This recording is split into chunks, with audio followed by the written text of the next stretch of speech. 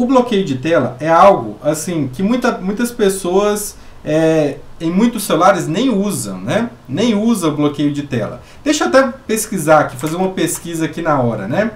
É, vocês aí que estão assistindo a aula agora, vocês têm, vocês usam um bloqueio de tela? O que, que seria esse bloqueio de tela, né? É isso aqui, ó. Quando você aperta para bloquear o celular, ele está bloqueado.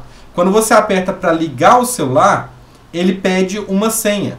Então você arrasta para cima e tem essa senha. A senha pode ser padrão, desse jeito, com nove pontos e você liga os pontos, ou pode ser uma senha numérica ou uma senha com letras e números. E o que acontece, gente? O que acontece se você não usar o bloqueio de, de, de, de tela? Pode ser que você pense assim, ah, Bruno, eu não tenho muita coisa aqui no meu celular importante. Isso aí, isso aí é para quem tem muita coisa importante dentro do celular, para quem tem muita, né, muita informação. O meu não, eu uso o meu celular só para o básico. Eu não preciso de colocar senha, né? Só que o que acontece? Imagina que você foi na padaria e você esqueceu o seu celular ali em cima da mesa.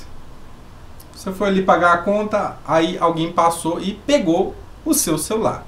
Você sabe, né? Isso pode acontecer.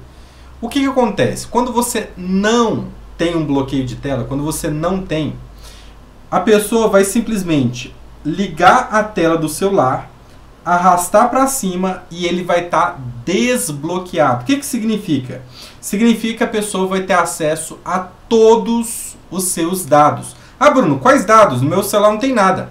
Mas ele tem WhatsApp, ele tem Facebook, ele tem vários outros tipos de aplicativos. Se você usa aplicativo bancário, como por exemplo, aplicativo de banco mesmo, na né, internet banking, é, é bem possível que essa pessoa tenha acesso também. Né? Se, principalmente se ela conseguir de alguma forma descobrir a sua senha.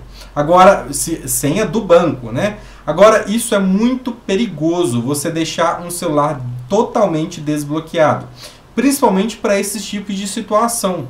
Então é necessário, é, eu diria, no meu ponto de vista, tá? No meu ponto de vista, eu diria que é obrigatório você colocar uma senha no seu celular.